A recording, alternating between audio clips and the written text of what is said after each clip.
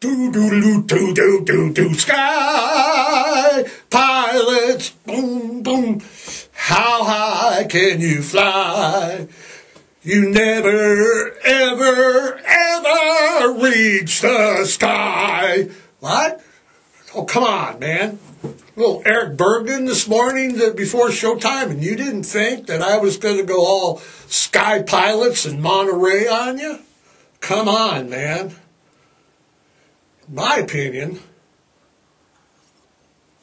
here we go on a Monday morning, my opinion, but in my opinion, uh, Eric Burdon has one of the uh, probably the most distinctive voices of the uh, singers, voice, whatever, of the uh, uh, British invasion.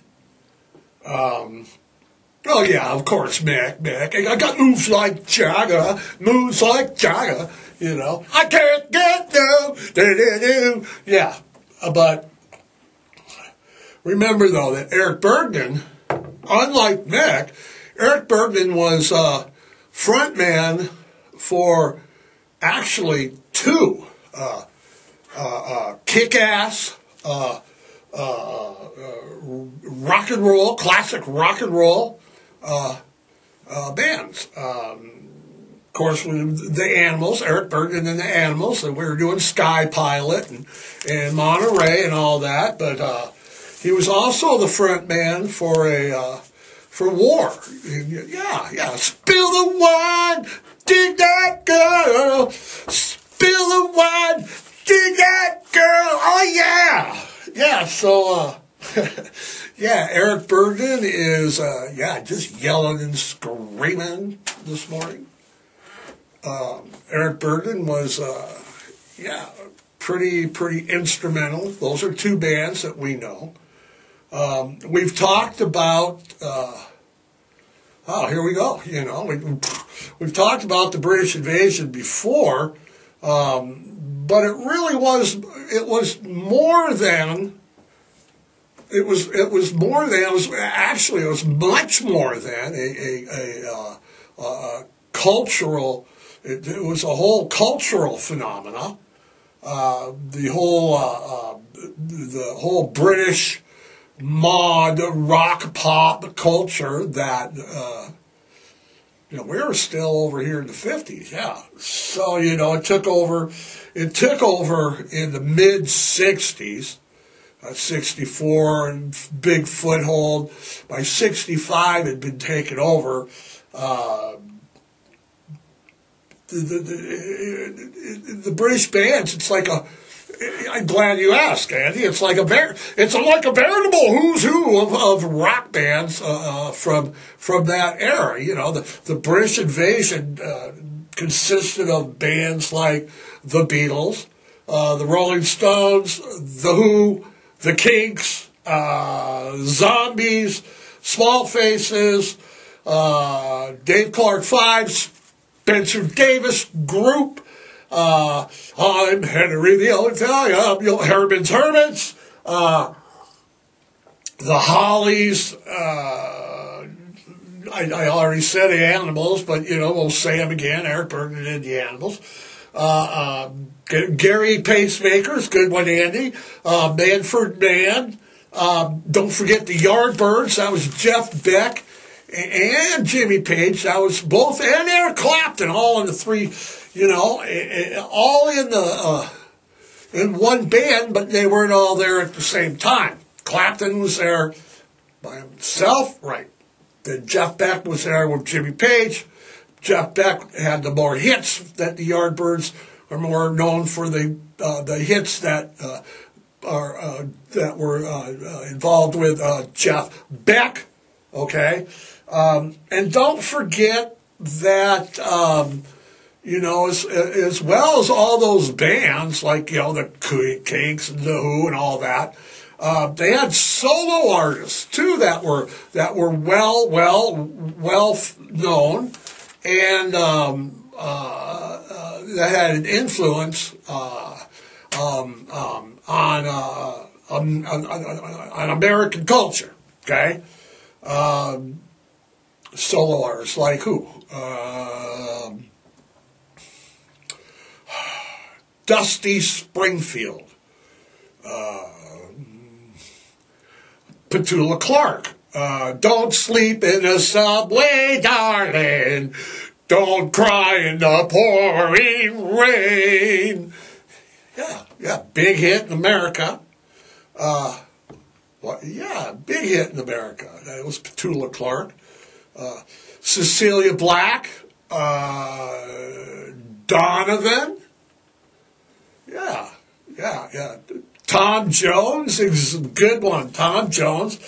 So basically, uh, what was going on is that I think that basically, if you kind of look at the era, uh, I, I, think that the the American uh, teenager, the, the American culture was uh, the they were ripe for a change. Um, yeah, um, yeah, yeah, yeah. They were, you know, it's like, what were they getting? What, what, what did they have over there? They had like, you know, they had like uh, the Frankie Valli, Okay, you know, one guy.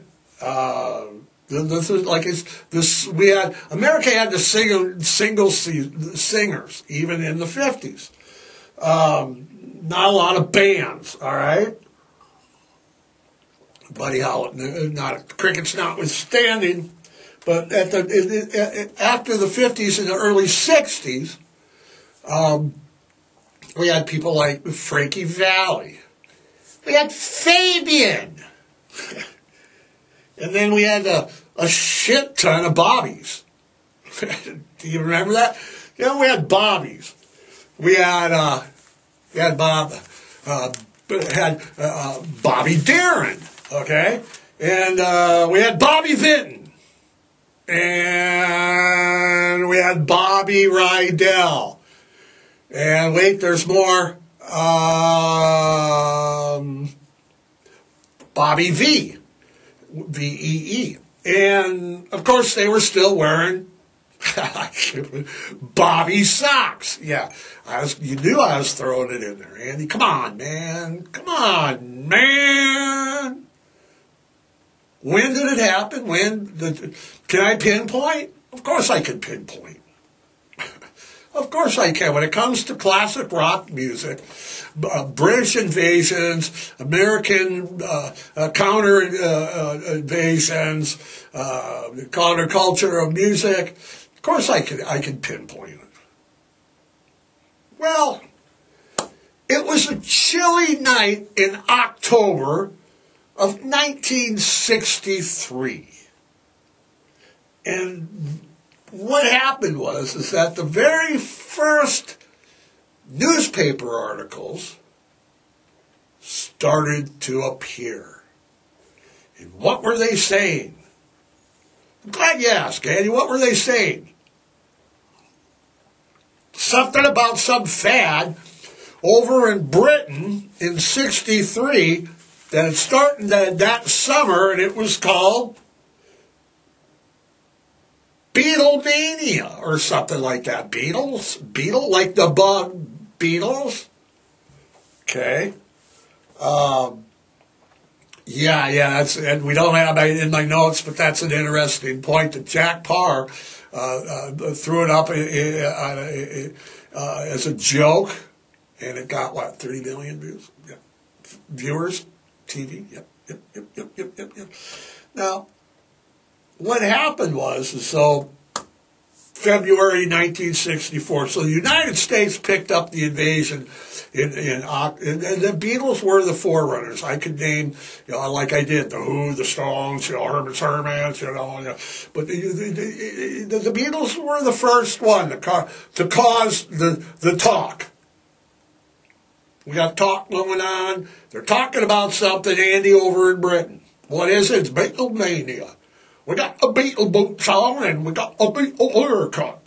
Okay? But February, February 1964, it was a cold night. Yep, yep, yep, yep, yep, yep, yep, yep, yep. It was a cold night in, in, in February Uh, 1964. It's snowy in Michigan, in Farmington, Michigan, where I was living. It was. I don't know if it was in Phoenix, Andy. I don't think it was snowing in Phoenix in February in 1964. Hey, face sometimes. Anyway,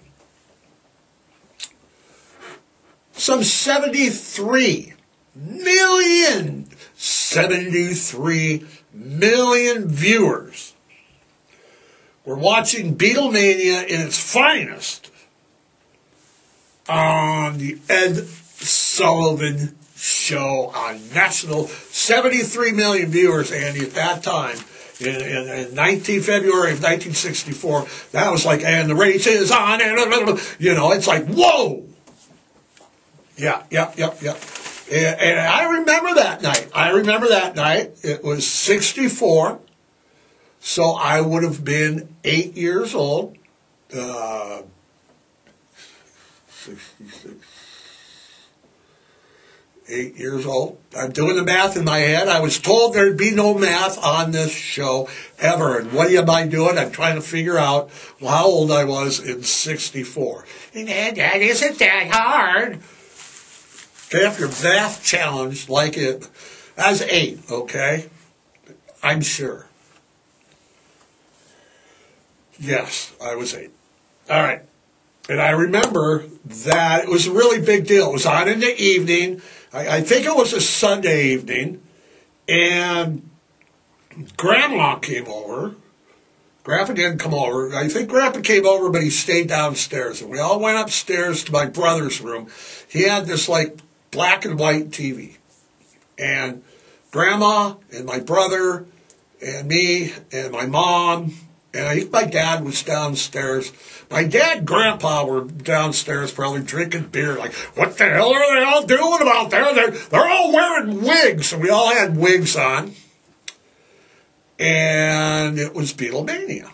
And we watched Ed Sullivan. It was like, yeah, I want to hold your hand. Oh, I tell you something. Beer, beer, beer, music you'll understand. When I, I know they, they play I Want to Hold Your Hand. And then they do, do, do, do, do. But see what, yeah. So it was a big deal. It was, you know, was grandma and grandpa and everybody's still alive. We're all wearing Beatle wigs and watching Beatles on black and white TV. Okay, along with 73, 74 million other Americans. Um, I mentioned uh, you know that it was like it, it, music, but it's it's like can you see what happened in the in the in the house? You know, I mean, grandma and mom and and my older brother. yeah, I've talked about my older brother. He was Richie Cunningham for sure. He was absolutely Richie Cunningham growing up. He was. I ain't the Richie that's another podcast. I think we touched on it. But anyway, you know, I've mentioned, but look what, well, look what it did. It affected not only musically, but grandma and everyone were all wearing wigs. Okay, it was more than, uh, yeah, you're right. It was more than music, okay? It was more than just the bands and the influence the bands had on American culture. It was much more. The British invasion was so much more. Oh, yeah. Oh, yeah. Oh, it, the, the whole culture we adapted as a society, the whole culture. Um, all of a sudden, BSA motorcycles were popular, and everyone had to have a BSA rocket yeah, strangely enough, British small arms. That's what the company made. They made kick-ass motorcycles. They got popular in the 60s because they were British. Right. Right, they were British. All of a sudden, everybody, you know, had to have, you know, uh, uh you know, they had to have uh, the, the, the, the, the. We had to have a BSA because it's British. Right, right. Everybody, you know, it was catching on. It's, it's a phenomena. It's catching on like wildfire. The music brought it over. You got Eric Burdon and the Animals. Next thing you know, everybody's buying uh, BSA rockets and wearing wigs and watching TV. Right? Okay. Yeah. Got fair enough. All right. And do you remember Mary Poppins? Okay. Everybody's like, I, of course I remember Poppins, you know. I remember, you know. You, you remember the British actress that came over to play the part? Just a spoonful of sugar makes the medicine go down, the medicine go down, and a spoonful. Yes, cream was made a spoonful. Yeah. What was uh, uh, uh, Mary Poppins uh, uh, was the uh, was the became the most Oscar nominated and Oscar winning film in Disney history. That's a lot. That's a lot of history. That's up to date, right? As of this morning, you wikied it and you threw it up just to make sure. All right, there it is, right there. Okay, most Oscar-winning film. You think that you could get the fonts any bigger? I got my glasses for crying out loud. um, yeah, and, and basically it's a film about a guy who uh, hires a stranger to, you know, she's a stranger to start with, to come in and watch his kids, and she's all about giving him cough syrup right? Codeine concert, knock, just to put you to knock them right out, you know. How are the kids today? They were great. Gave him some medicine. He didn't even catch to it. He was like, hum dun dun hum diddly hum diddly He didn't care. Yeah, yeah, yeah, yeah, yeah. It wasn't just. It just. It wasn't just uh, Julie Andrews. No, there, you no, it was other people. You remember Audrey Hepburn? Yeah, guess what? British Audrey Hepburn. My Fair Lady. Remember that movie? Oscar nominated, yeah. What about Oliver?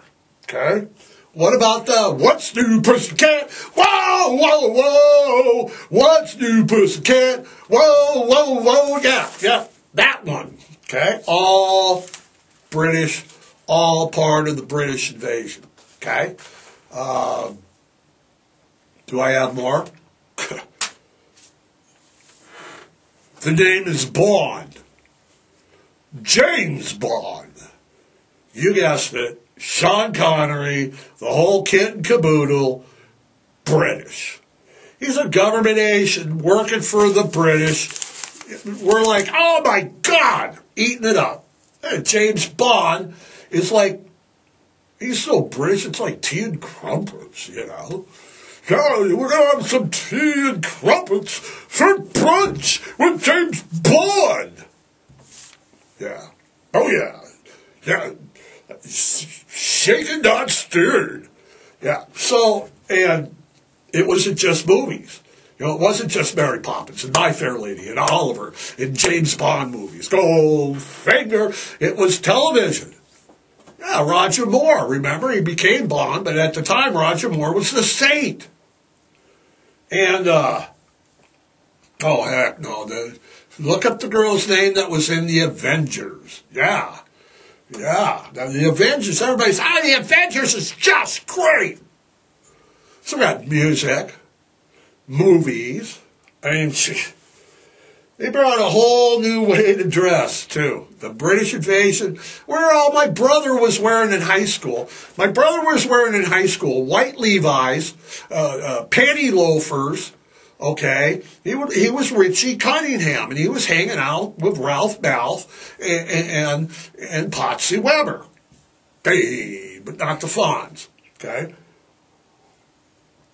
They didn't dress like that. They were like mod. It was mod. Okay, that's what the that's what what what it was referred to as mod. It was uh, it was a way of dress. It was uh, uh, uh granny glasses, uh, uh, bell bottoms, striped pants, polka dot shirts, wild colors, wild artworks, uh, polka dot bikinis. Sandals and flip flops and mini skirts made their appearance in the British invasion. Hey. Mini skirts and flip flops? Man, that's a match made in heaven. Yeah, and it was a part of the British invasion, the dress style, the hairstyle. All of a sudden, we weren't having really short hair like my brother had. We were having long hair. We got a Beatle haircut. We went, uh, like I said, from a culture to uh, uh, from like uh, um, American uh, graffiti and your Richie Cunningham and Happy Days to the Rolling Stones on Ed Sullivan and the Beatles, and, and, of course the you know the music in America countered. But I'm talking about what the British invasion brought. You know, it brought movie, television, music, a way of uh, an attitude. Those swinging '60s. You know, those Brits are so swinging. Yeah. Yep. Yep. Yep. Yep. Yep. Yep. Julianne, uh, Julie Andrews was America's golden girl, and she was British as British could be. Yeah, just a spoonful of sugar. Yeah, some cough medicine. That'll help. Back in the 60s, cough medicine over the counter. Yeah, you could get paregoric, cough medicine, and codeine too. Paregoric, for those that don't know, is opium. Yep, yep. I remember you, you, you flew through this up that I need to get in here, but you know, it's like Connie Francis, she was a singer back then in, in the mid 60s, early 60s.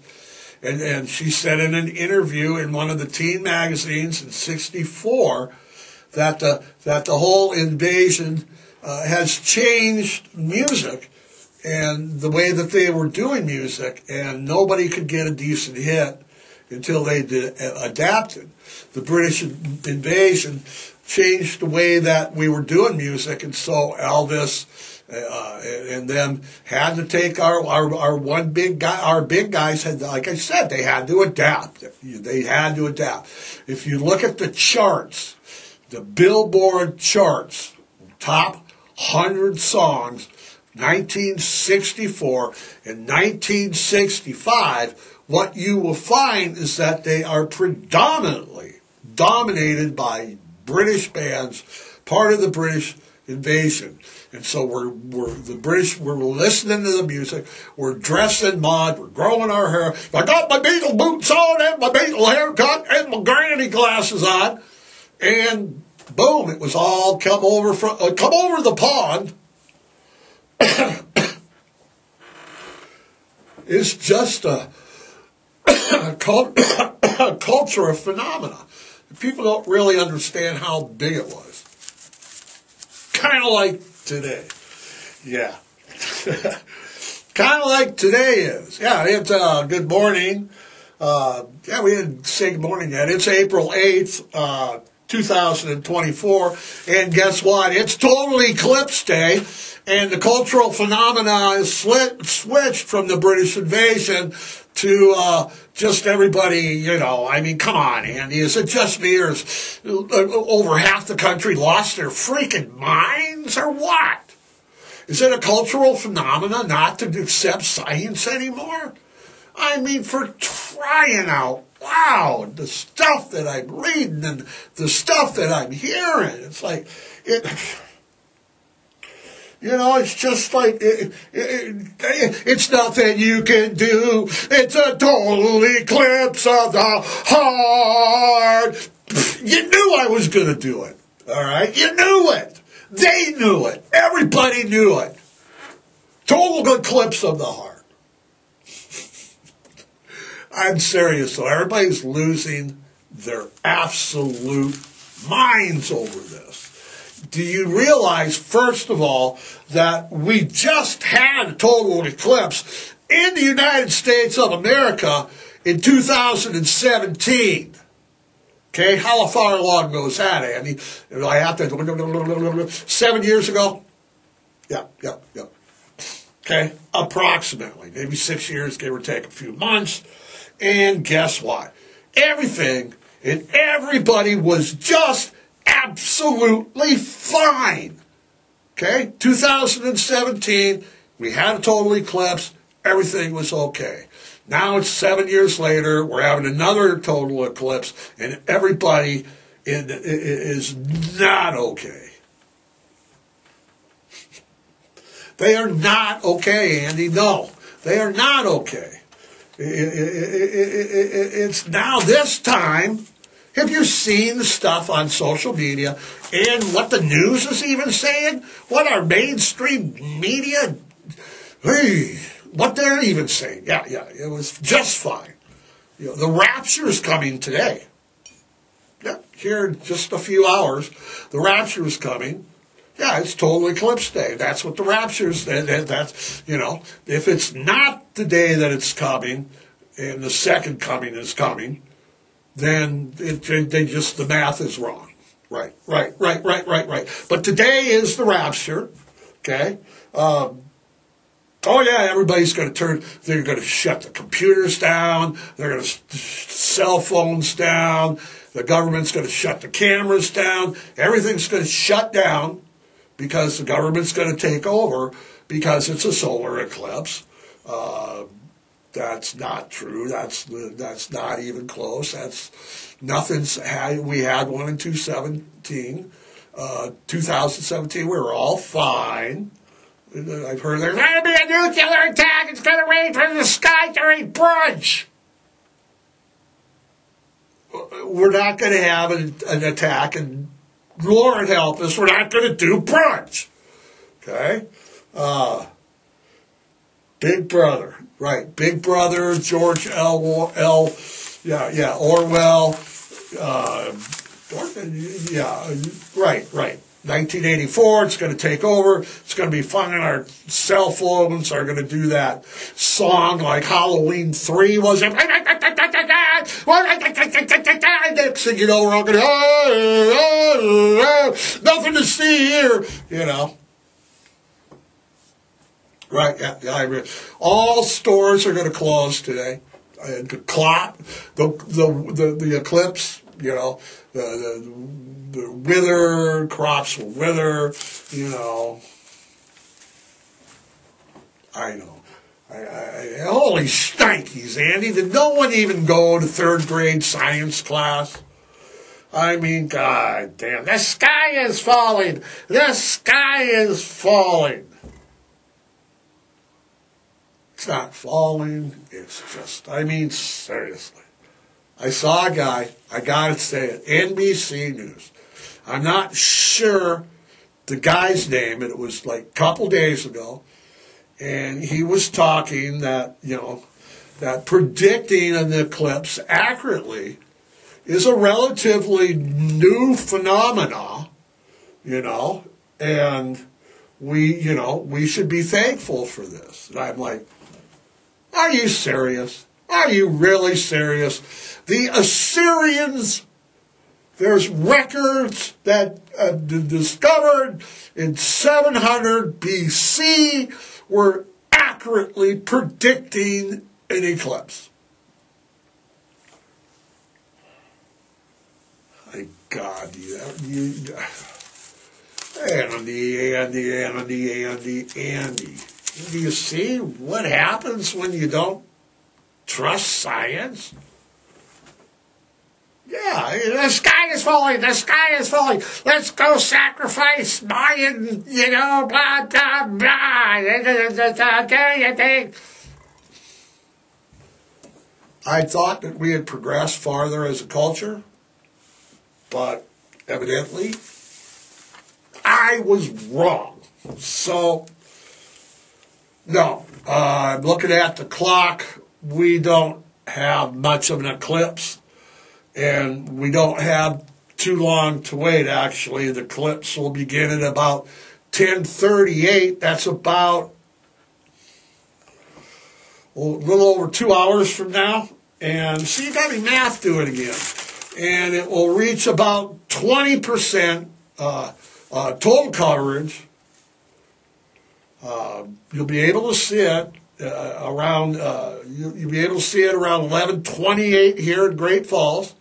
So again, that starts at about 1038 And about 1128 Great Falls, you'll be able to see that 20, 20%. Uh, everything should be over by about 1220. Now remember, for God's sake, when you're out, don't be looking at the sun. Oh my God, look, look at the sun. I'm going to look at the sun right now. It, it, it, there's glasses that are, are made just for seeing this. Uh, you're going to get 20%. The weather, uh, ah, ah. But, Andy, we're going to head out right now we're going to head out right now and go look for some spots. Maybe we can find somewhere to go look at it. Got two hours to find a place to find it. Find us a good place to hunker down and film this. So, please be careful. Watch your eyes. So we next one's not coming for another 20 years. We've had a couple total eclipse, bang bang I don't think I'll be down around in another 20 years. I might, but oh, man. well, it's that eclipse. All right. We're out of here, Andy. Andy's giving me the high side because we got to pack up and go film the eclipse. So, without further ado, watch your eyes today. Okay? Stay and neuter. Adopt, don't shop. Rescue, volunteer, and right after the eclipse, go adopt a shelter pet today. Have a great Monday, the 8th total eclipse day. We will see you next Monday. Andy, we're out of here. He says we are out of here. Thanks and goodbye.